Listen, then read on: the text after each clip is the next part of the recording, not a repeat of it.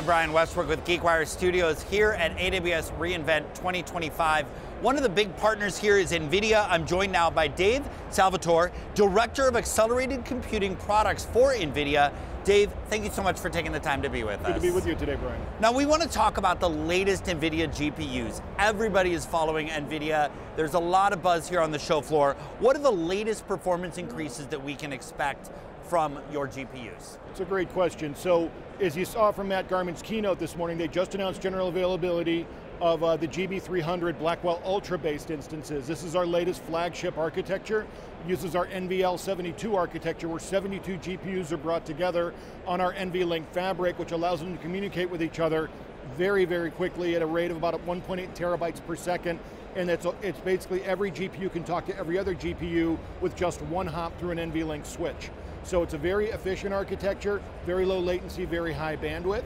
And so uh, we're very excited to see them bring that to market now. It will be a great product for Amazon customers to be able to use.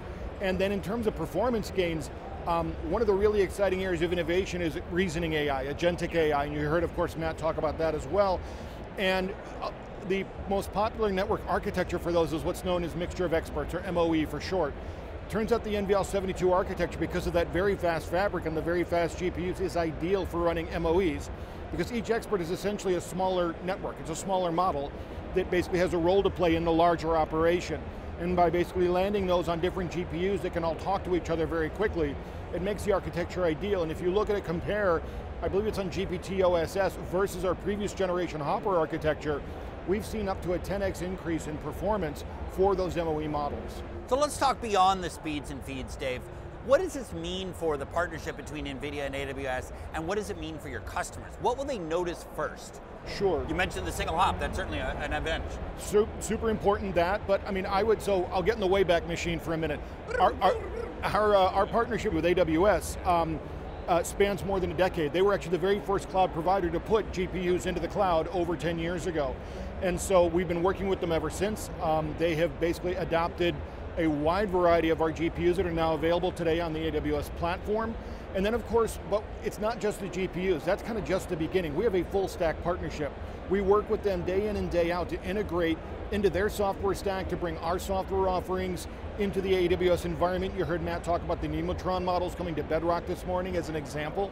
So you'll see a lot of NVIDIA products that are available in the AWS platform, and that, that's work that we're doing just constantly with the AWS team, uh, much of which is actually software work. And some of the new things you're working on, this partnership is increasing your use of NVLink Fusion. Tell us about that and some of the latest things we can expect, that customers can expect with that relationship. So NVLink Fusion is a really cool implementation of our NVLink Fabric technology that will allow third parties to basically take that technology and implement their own what we call XPUs, if you will, their own accelerators, their own CPUs, even their own networking accelerators can all be basically landed on this fabric.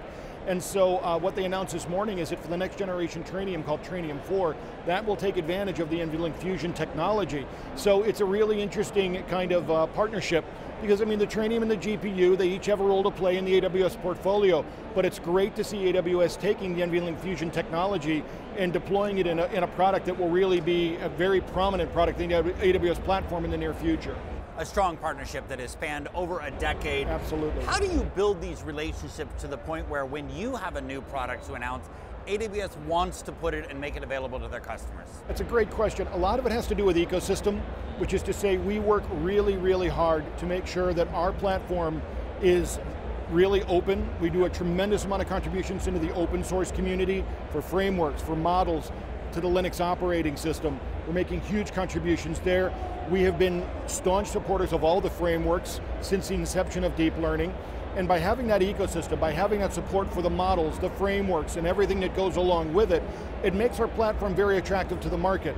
So that when we bring out a new architecture, companies like AWS, of course, are looking at going, we want to be part of that ecosystem, and they're very eager to partner with us to bring that new technology to market. And certainly the customer that have built their products on NVIDIA's products then want to have even more and have a, an even tighter relationship. Some great announcements today at the keynote. Thank you so much for being here. Dave Salvator, Director of Accelerated Computing Products at NVIDIA. I'm Brian Westbrook, GeekWire Studios. Thanks for watching.